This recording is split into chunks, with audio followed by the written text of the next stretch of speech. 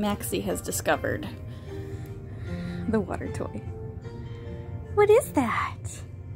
Oh my goodness! Oh, don't steal your brother's food. What is this thing? Gentle paws, good boy. Good boy, gentle paws. Yes, good boy, gentle paws. Did you get a new toy to play with? I don't think so. What's going on? And where's Mackenzie? Oh, not again.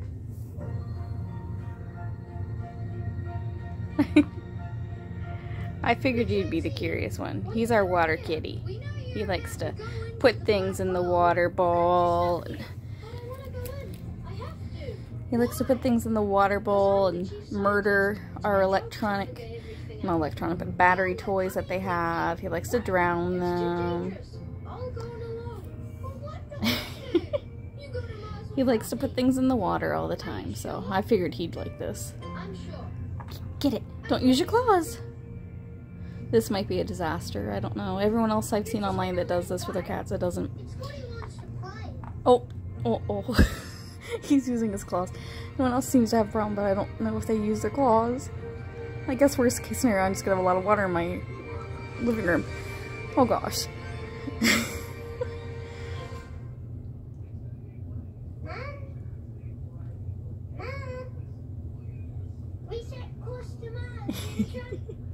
Good boy, Maxie. So brave.